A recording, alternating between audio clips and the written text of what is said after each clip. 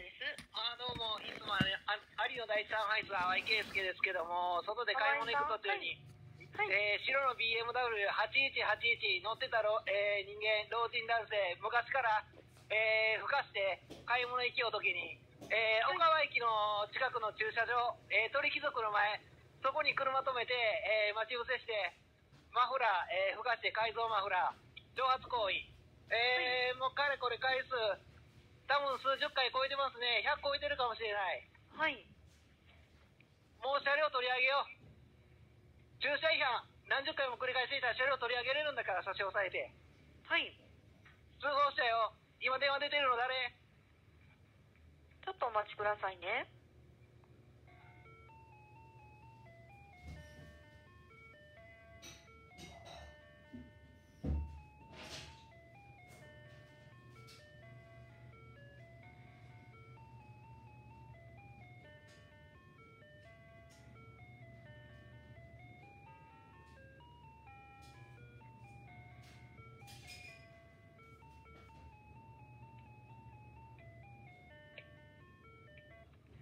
もしもし？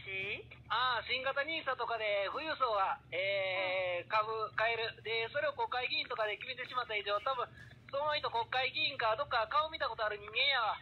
で、株持ってたらアウト。それ昔からそれ判決あるから。で、買い時は、買い時はその前の新型ニーサの非課税になる前から、これだけ株高になることっていうことが分かってる、分かるから、普通、円安プラスで、新型ニーサなんか作ったら、その話の段階で買い込んでたら、はい絶対アウト。はい。取ったら彼になる。はい。対応してくださいよ。今電話出てるん誰です？今、今どこから電話されてるんですか？は買い物行く途中。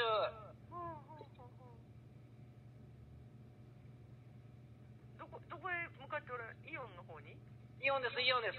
あいや、だからそういう時こそ、あのー、警察車両出なきゃおかしいのに、あ。はい。高速とかかわいすぎ、雨の降り方、ちゃんと証拠出しと。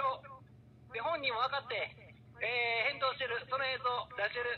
で、それをいちいち止めたらあかん。防災法、あ、じゃあ放送法、第6条の2、防災等に関するかことは、自分たちがどう動いたら何が発生してるかっていうのを分かって分かってないから、ちゃんと本人に理解させなきゃなんない。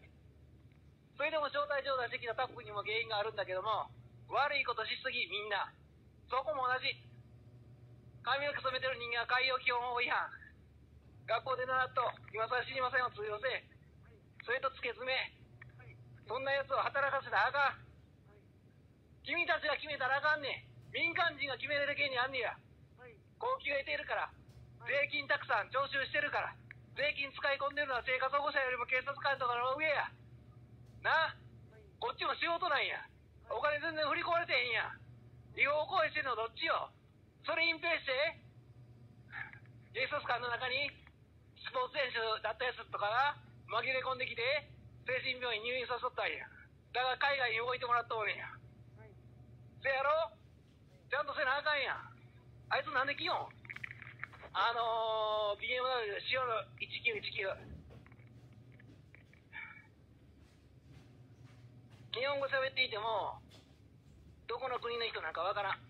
はあ。イ・ミョンバク大統領が、イミョンバク、はい。うん、韓国の、あの人、日本語ペラペラに喋れる。ユンさんもそう、今の。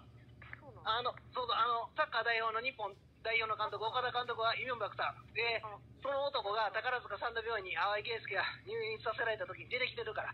ああ、そうですか。ほんと。はい。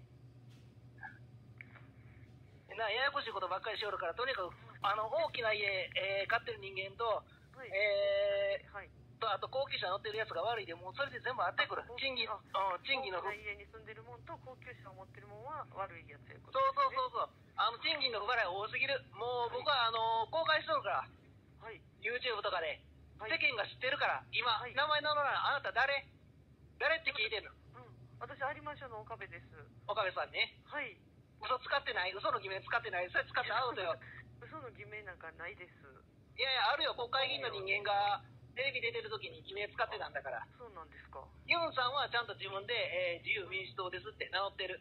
え、だ誰はユン大統領、韓国のあユン大統領ね。あ1億2000万人という人口は、朝鮮半島と満州国と台湾併合していたとき、はい。台湾には1000万人も人おらへん。日本の今の国境内のところ4000万人も人おらへん。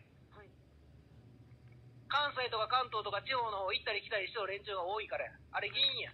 はい。もう全部あれら捕まるような状況が最初から出来上がっとん。あいらんことばっかりずっとしようから。はい。ずっと課税や。はい。ニーサで、上限額、少なくせなあかん。ニーサという存在自体を本当はなくした方がええ。あれもともと仕掛けてきたん海外や。イギリスが最初や。以上、対応してよ、インターポール動かして。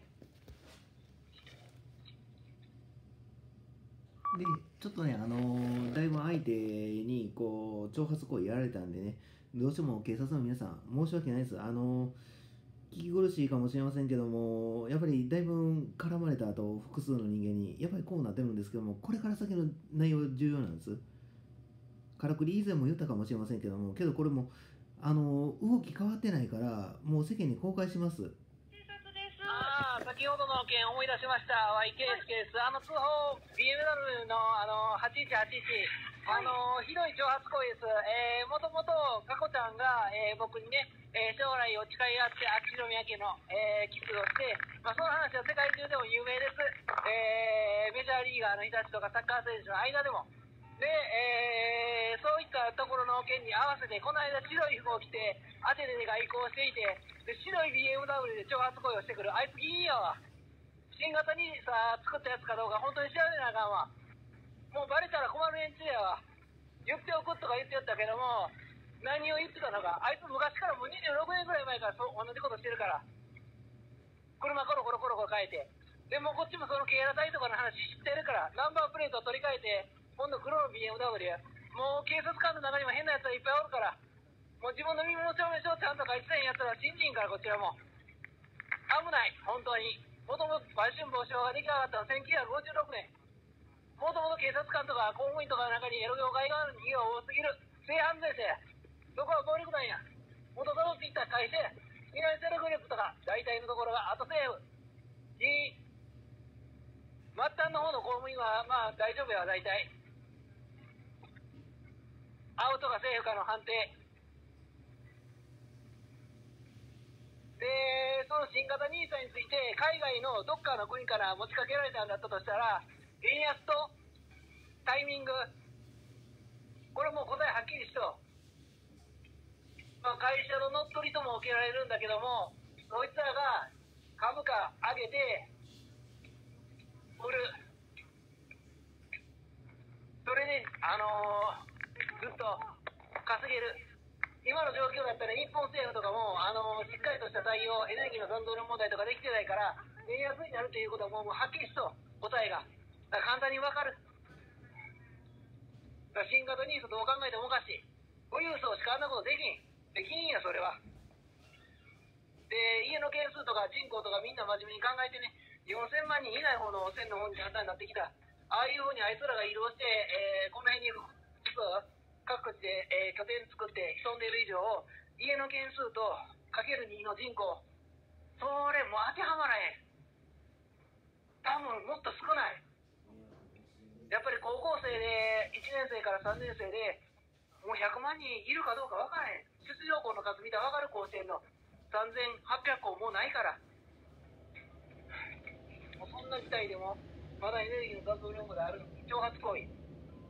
あの改造マフラーでそういう風な車で淡井圭介の前に現れてちょうど買い物行った通り過ぎる時に吹かしてきて喧嘩売るような声をしてくる。で春山整骨院に出入りしていた。もうまず間違いない。そいつの親とかもエロ業界側だった可能性が非常に高い。議員の娘とかでそういうやつがいっぱいおる。テレビ局のアナウンサーもそうや。あの徳永っていうやつも本名がどうか。あいつは内村と一緒に温泉入ってそれでも結婚してなかった。エロ業界側の可能性は非常に高い他にもたくさんおる今度はあの会裁判所の窓口に出てきた人間は徳永って名乗ってたけども淡井圭介に強制わいせつしてきた大瀬まりなっていう人間はナルトレーサンスリゾートホテル2003年で働いていた時にえー、徳永って名乗ってる。で、と徳永っていう名前が何か一部で横行しそう。それなんか組織的になんかあるんちゃうの？警察の方では情報どうなってるどち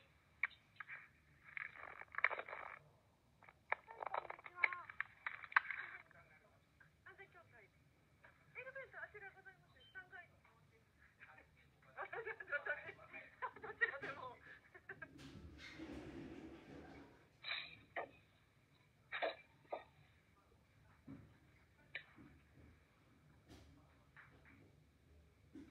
音声も公開するからね。インターポールに報告する方法、これしかないから。あと防災も込み。台風の発生の仕方とか見といてよ。YouTube にしっかりと公開してる。ああいう風な形で雨の降り方とか、今まで何回も説明してきた。で、他の警察署の、えー警察官とか有馬警察署でテレビ出してきて、彼の言ってることが本当だからって、それを伝えたのが小木アナウンサーだったでしょ元交通機動隊の。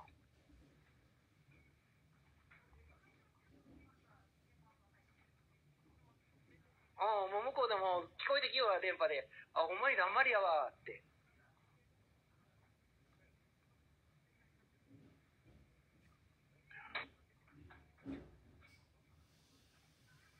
笑い声とか聞こえたよ。あっちも自分で捕まえといてとかやからって。どうする？高齢者に権限なんか全員ないよ。若い人はエネルギーの残存量問題理解してる人にしか権限ないよ。隠蔽ばっかりや。それで大量の金稼ぎしてきたんだから。淡井圭介を精神病院に入院させて。昔決まったんじゃない、有馬警察署で。この人だけは絶対精神病院に連れて行ったらあかんっていうことに。約束？守ってないやん。正直、誰が味方かよくわかんない。一部の警察官は動いてくれてるのは分かってる。まあ、胸に悲しみが溢れてるけど、まだ踏ん張りますよ。この無茶苦茶な状況。結局僕しか防災できないっていう話なんだったらね、全部指示こちらが出してる。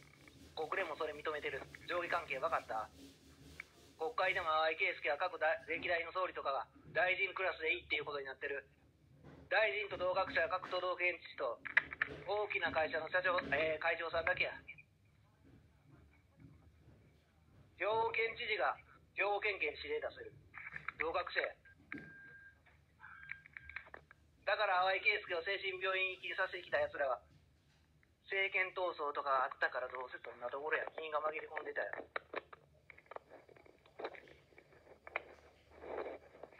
これが全部本当の話や。文学大統領も、サッカー日本代表の岡田監督や。その後、淡井圭介も精神病院に現れた白衣って。安倍様も今どうしてるか分かれへん。他国で白衣着て、精神病院の医者として出てきてるのかも。もともと併合していた朝鮮半島、北朝鮮か韓国、台湾、もしくは満州、中国、そのあたり。は ぁこんな無茶苦茶な世の中。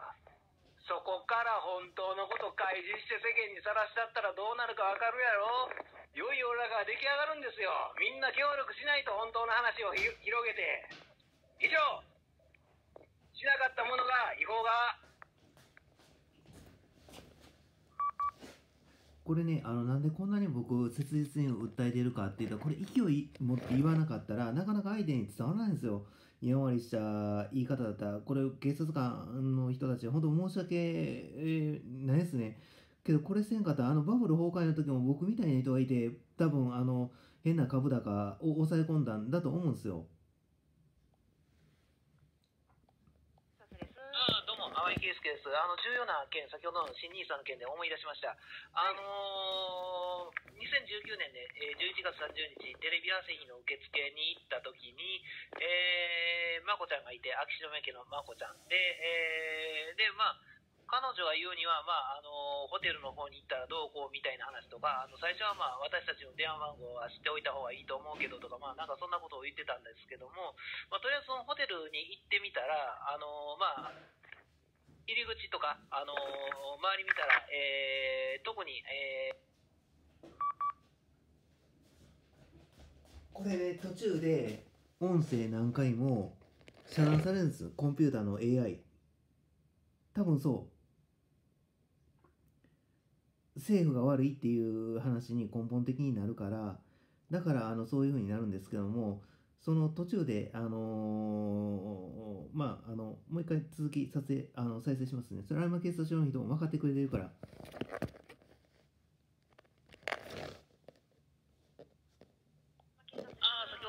ですけども、淡井圭介です。あのー、あ第一タウンざイツす。あのー、新型ニーサ、えー、安藤証券。だから2019年の時点で、あれの相手なんか知られへんわって天を仰いで高笑いしてたんですよ。で、安藤美希、安藤美希、フィギュアスケートの安藤美希。で、多分あの子、あのー、安藤証券のもの、もともとあんな競技富裕層でないと、えー練習費用が高いからできないと思う。で、多分新型ニーサと多分関わっとだいぶ手数料入っとあれだけ金額動いていたら。もうまず間違いない。で、その、その時2019年、その東京の、えーテレビ朝日近くのホテルの近くで安藤美希を発見した時に、隣にいた、えー男性、そこの春山整骨院に何回も現れたと。で、グループ化してもまず間違いない。えー春山整骨院、えーあとニュースウォッチ9に出てる林田っていうアナウンサー、もう、えーどこにどういう人間がおるか分からへん。あのーとにかく春山整骨院に集まらずにやめてくれ。あと、そう、死に方兄さんの件について、あー、2019年にもあの状態だったから、なんかもう計画を練っていた方かもしれへん。一回コロナウイルスの件とか未来からの情報で淡井圭介がいろんな人間にあの危険性を伝えていた。で、それを知っていたら、株価が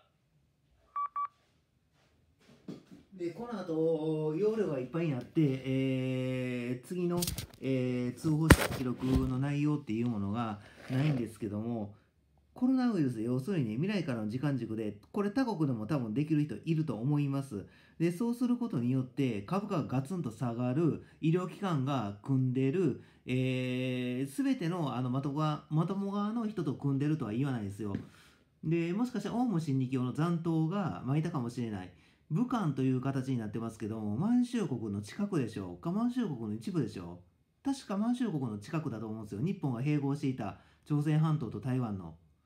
で、えーそれによって、えーやけになった人間たちが淡井圭介が皇居などへ行っても結局、えー河川水門海営式ダム発電とかエネルギーの残存量までの解決がしてないということでもうお前らがそういうことなんだったらこっちだって稼いだるわっていうことで株価ガツンと下げてその後あコロナウイルスを巻いてね大量のあの体弱ってる人たち殺して。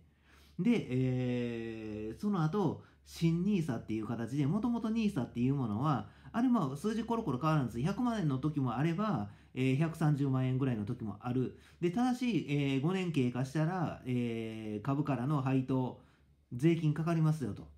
そういうふうな話になってるんです。それが新ニーサは上限額は270万円まで上げてで無税なんです。永久に。だから富裕層がさらに富裕層になるっていう形で何をしてるかって言ったら議員関係の人間がテレビ局とかに出ている警察官としても出てきたりする時もある。だから淡井圭介側の人たちは警察官として出てきて助けてくれたりします。だけどももうみんなそういう状況じゃないの。お金稼ぎの状況じゃないのよ。もうとんでもなく狂ってんの今世の中。だから報道なんか最初から大谷翔平とかを取り上げてスポーツの話してるんだけども彼は年収あんな億とか稼いでないから。それは会社の売り上げだから。みんなの協力だから。ね淡井圭介の頭の中借りたりとかして彼は売ってたんだから。淡井圭介を利用して。嫁さん使いよって言ってもそれは彼は、えーしっかりとそういうような対応できてない。嫁さん見ました。試合中ヘラヘラヘラヘラ笑ってる。その時点で無理。翔平がしっかりとしてあ結果出すの。逆に足引っ張るから。だからこれが日本のスポーツ業界の弊害で淡井圭介が、まあ、基本的に野球とかサッカーは大丈夫。あの本当に試合中笑うことはまずない。みんなそう試合最後まで踏ん張る。本当に真剣に、えー大真面目に取り組んでくれる仕事として。だけどもあの家族にその選手の成績を委ねてしまった場合やっぱりああなる。淡井圭介に頼りすぎ。であんな人数メジャーリーグに行かれても最初から無理でエネルギーの残存量問題で、えー日本に帰ってきてもらって12リ、えー12球団のまま継続。これが正しい形。でアメリカは、えーいろんな国から来てるから、えープエルトリコとかキューバとか、えーベネズエラとかいろんな国から来てくれて来てるんですよメジャーリーグの人たちね。その人たちも全員母国に帰ってもらう。これでエネルギーの残存量のその節約のところ大きく変わっていくんですよ。東地区西地区中地区6球団ずつに再編成。だからみんないなくなるから人数減るから自然と合併できるんですよ。で、南から北に向かって巡業。今僕のホームページ、淡井圭介の駅の117番の日本の球界とサッカー界について細かい日程まで、えー記載して今作りかけています。それ大体見てもらったら僕が言ってること分かると思います。あ、これで本当に石油の消費だいぶ削減できるなと。あと、野球界とかサッカー界にとって売り上げ、その方が横ばいか、まあ、出るとまでは言えないけども、なんとか横ばいキープできると思う。とんでもない少子化がずっと続いてるから、精神病院は兵庫県だけでベッドの数が200ほど平均化して、えーあるんですけども、28もあるの。そこ入れ替わり立ち替わりで、えー精子の生産されなくなる薬を、えー飲ませてるから、あと通院のところでも飲ませたりしてるとこは飲ませてる。その入院施設のところでも精子の生産されなくなる薬を飲ませてる。それは昔一回摘発してるから、警察の方で。田岡御殿、山口組っていうことで。僕は中学生ぐらいの頃。できるから、警察の人たちも。それ、フィナンシャルグループ。形見たらわかる。国会議員が天下りとかしてきて、地方議員の例もある。フィナンシャルグループとかの、まあ、その傘下の会社の社長、役員、えー取締役、えーそういった形で入り込んできよう。最悪理事として入ってくる。それ国側。で、えーその傘下に製薬会社を会社を持っていて、精子の生産されなくなる薬で、えー自分たちの悪さをずっと隠蔽しようとしていた。怒らせて淡井圭介を精神病院行きにさせていた。だから淡井圭介を、あのー精神病院行きさせていた末端の警察官はどこからこういうふうな話知ってましたっていうことになるんですよ。だその人たちも法廷出てもらわなきゃならない。で、僕もそこまで鬼じゃないから、ちゃんと聞きます。誰にどういうふうに言われましたって。で、どういうふうな仕事してましたって。やっぱりスポーツでしたって。もうみんな本当のこと言おう。そうすることによって、今 J リーグ、J1 がまだ20チームに増えてる。インターネット上では。無理だから。エネルギーずっと消費していくから。あと人口縮小してるから。埋まらない。経済原理的にも無理。で、僕は去年頑張って、ね、阪神タイガースを日本一や、ヴィッセル神戸を、えー年間優勝日本一に持っていったんですけども、あれもものすごく大変。すごい睡眠不足で、もう皮膚も体もボロボロ、意識も朦朧。それでも踏ん張って踏ん張って。で、最後の最終2試合目のところで、えー、ヴィッセル神戸の優勝決まっていたから、最後の試合ぐらい球場行ってみようかと。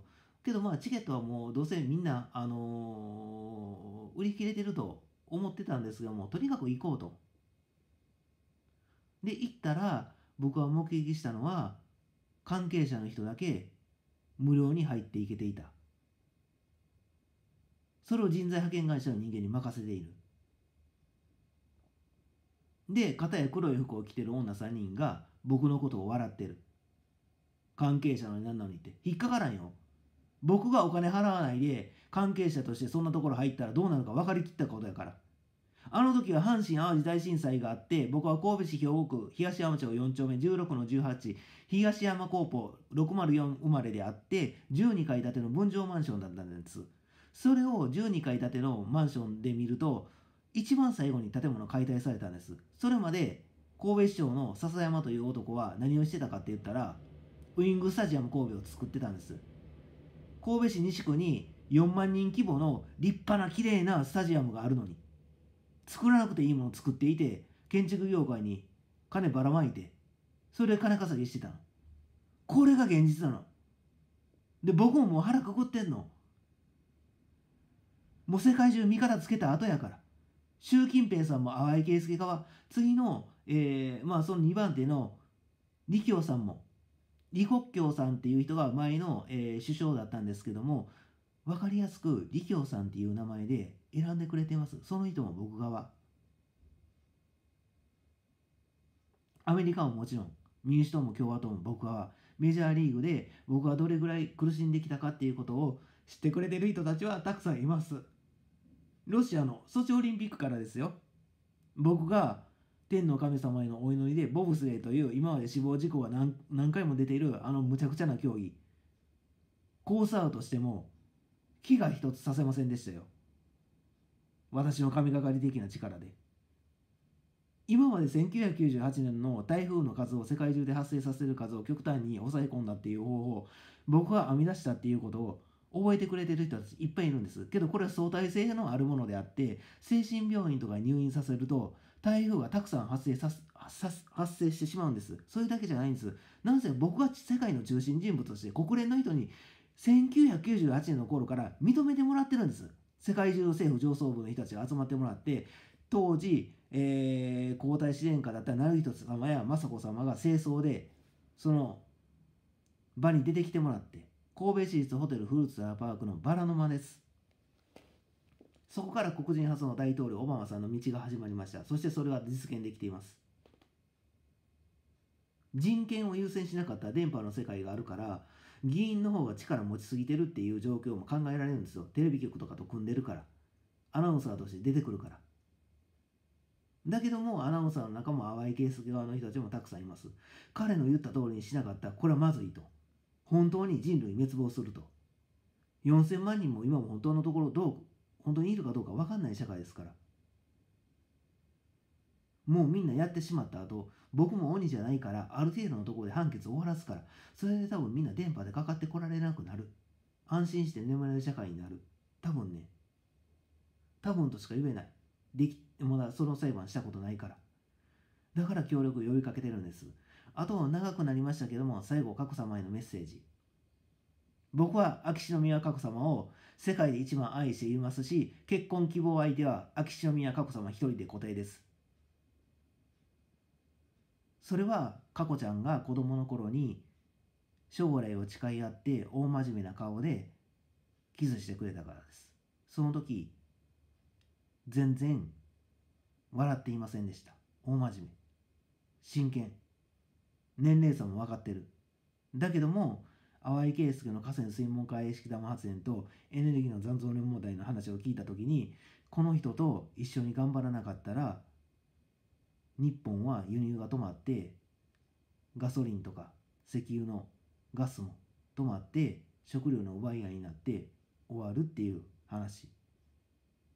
お父さんとかから聞いてるから文人様や紀子様から。腹くくったはずなのに一回。だけどもやっぱりいろいろ間違いが起こる。細かいとこ細かすぎることをして指摘していると皆さん思われるかもしれませんけどもこれここから先は警察官の方へのメッセージなんですけどもえー、佳子さまのその公務とかの動画で僕は叱ってるところの映像をあの自分の目で確認してください。この喋ってる内容とかを聞いてもらった上で聞いてもらった後でもう僕は命がけなんです。テレビに向かっていろいろ言った時どうなるかって言ったら昨日の晩もう夜中3時か明け方4時ぐらいまで寝させてくれない。睡眠薬は効かない。本当に。で、先ほど二度寝しようとして、朝の、えー、9時半ぐらいに春山整骨院のドアノートで起こされて、で、廊下側に布団持って行って二度寝しようとして睡眠薬をもう一度飲んだんだけども、次、えー、余計なトラックが2台入ってきて、僕が寝ようとしたら邪魔してくるの。これが現実なんです。フラフラなんです、毎日。それで今から今日、えー、法律相談に行くんです。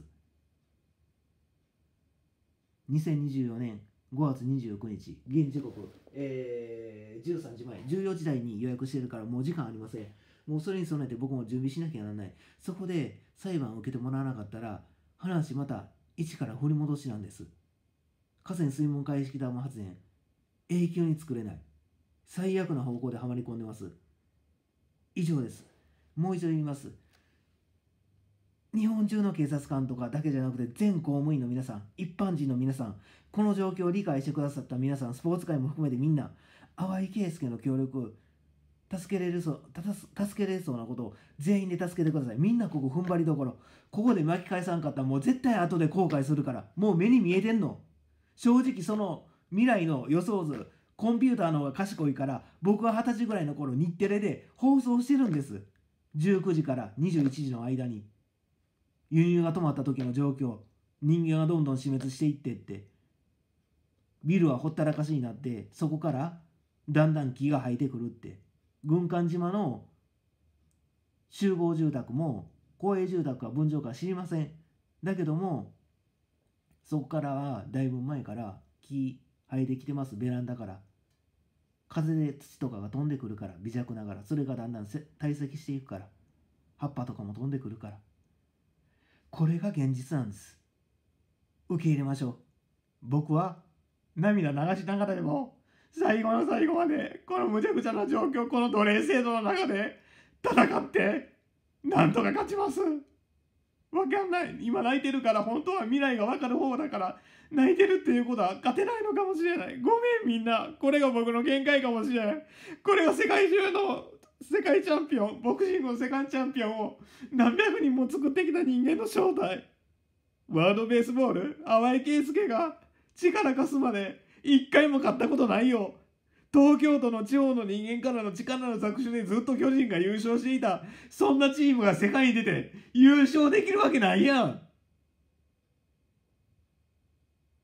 アメリカの歴史見てみろよ、南北戦争。奴隷解放側が勝ってるんだよ。俺だってそこにかけてるんだよ。その勢力はフランスなんだよ。マクロンさん、僕と同い年で1998年誓い合ったんだよ。僕もまだこんな年齢だし、どこまで君の言ってることに協力できるかわからないけども、君が本当にフランスでオリンピック開かれた時に、天皇家の人たちと来てくれたら、君自由にその場で本当の話させてあげるって。男と男の約束。それで、オリンピック、僕の方で解体します。反対したやつ、お前らの口座から全員差し押さえじゃ。全員議員の息子とから、あとスポーツ選手とか、そういった息子とか、テレビで撮った高額所得者から、次から次へとスポーツ業界出てきて、みんなの税金使い込んで、低所得者の人の税金使って、スタジアム建築して、エネルギーの消費どんどん加速させていったんだよ。要するに人殺し側なんだよ。はっきり言っとくよ。お前らのせいで淡井圭介の母親、淡井春子、74歳っていう若さで殺されてるんだよ。俺が途中で睡眠時間分けたりしてたんだよ。6時間なんとか眠れたりしてたけども、母親は僕のことかばって4時間しか眠れてなかった。僕が2時間睡眠時間分けたらちゃんと6時間眠れたりしてたんだよ。けどこっちが持たないんだよ。永久にそんな状態で頭回んない状態で裁判できるわけないやろ。文章の書き方わかんない。そりゃそうだよ。こっちの頭の能力、脳が取られて低下してるんだから。全部裁判妨害だよ。スポーツ業界から議員から何から何まで。お前ら腹くくっとけよ。俺本気で言ってるからな。死刑判決下って法務大臣の死刑執行の判を押された後、その後、本当に公死刑されてるかどうか、その確認の VTR 俺が見るから。あと俺が母親が殺された件で、コロナウイルスの件も含めて、特にコロナウイルス、まあ、インターネット上では世界中で1500万人以上殺されてる。もう泣きながら怒ってる涙流しながら。そんな状態になったことある人いる？そいつらに対して俺が裁判官になって判決下す。そのための裁判員制度や。その後、任命でできる法務大臣に。法務大臣の死刑の執行の判、僕は押す。みんな怖くてできないの。いろんな国といろんな人間が関わってるから、そこの国からの反撃が怖いから、自分が今度、刑務所に入れられるかもしれないって、大臣とか総理でも怖くなっちゃうの。だからできないの。だオウム真理教の死刑執行も僕は言ったの。いいって。僕の方が世界中に名前通ってるって。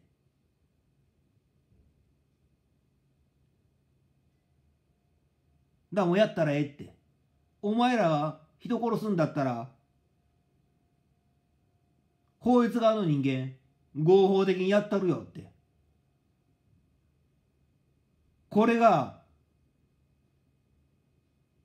日々真面目に生きてきて、上からの言いなりになって、それでも、言いたいこと言えなくても、頑張って出社して、無茶な労働時間課せられて、偉い目あって、それでも頑張って働いて、踏ん張ってきた人たちが、殺された時の、ご遺族の人たちの怒りや。この淡井圭介は受け持つ。レバーもボタン3つも全部押してあるよ。そいつらが泣き叫びながら助け求めてきても、呪いをこっちに回してきても、返し方知っとうねん、こっちも。お前らに全部返してやるよ、こちらの怒り付きで。その時天がどれだけ轟くかよく見とけ、全員ごめんね、かこちゃん、こんなに怒って。これが淡井圭介の一面。だけども、そういう風な人間と結婚しなかったら、君も他国行った時にどういうやつにレイプされるか分かんない。あんな格好してたから。知ってる。スカート短すぎる。それは売春婦のする行動。君も海外行って、海外の人と仲良くして、その中に売春婦とか混ざってる、エロ業界側の人間の子孫とか混ざってるっていうこと分かってないから。それを僕が教えたんです。天皇家の人たちに。で、それで、この間岸田さんは大粒の涙をユンさんの前で流して、ユンさんは検察庁出身の人です。パクさん、パク・クネ大統領を裁いた人です。もともと僕からの面識があって、そこまで一定委員会とか、ニュースライブ正義の味方に男性のパクさん出てもらってるんですけどもあの人の裁判官なんですよ多分あの人の親族はもしかしたら最悪嫁さんです。だか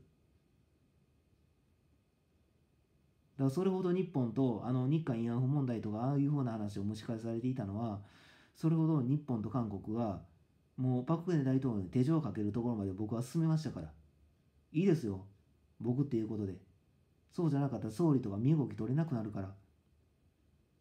だけども昨日僕がどれだけ苦しんでるかっていうのを涙流しながら言った内容を聞いて岸田さんもごめんって謝ってくれてる。岸田さんも若い頃僕に会いに来てちゃんと約束してくれてるからその話僕も知ってるって僕もその話にかけてるって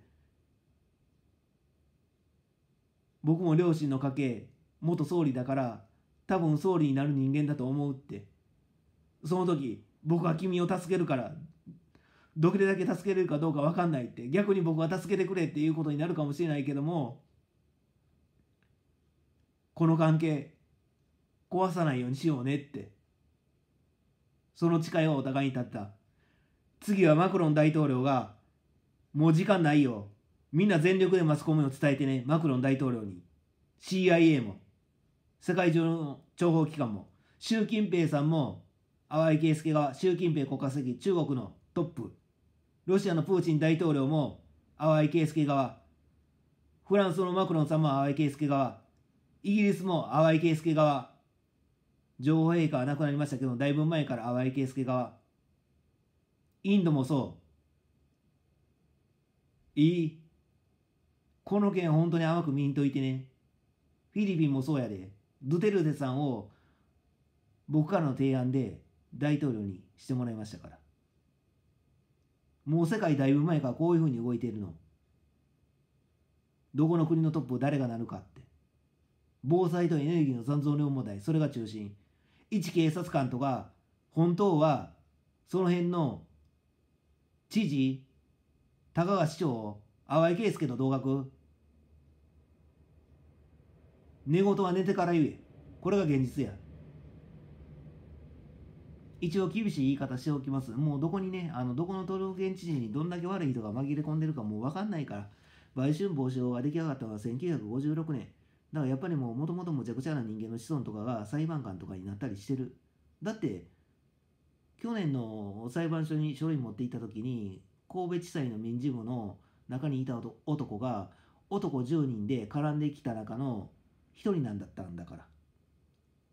お前が本当にどれだけ強いか試したるわって言ってきたやつでその民事部のにいた人間が言ったんじゃなくて一緒にいた10人の男性の中の、えー、大半の人間がそういうことを言ってきてで、えー、一応まあその人は急いで、えー、本当にバレるからそんなこと言ったらあかんってこう止めたりはしてくれてはいるんですけども髪の毛茶髪いらんから海洋基本法違反だから公務員で髪の毛染めてる人間挑発行為、海洋基本法違反、他の罪いっぱいついてくるよ。民事訴訟法最初から最後まで見てみ。刑法とワンセットや。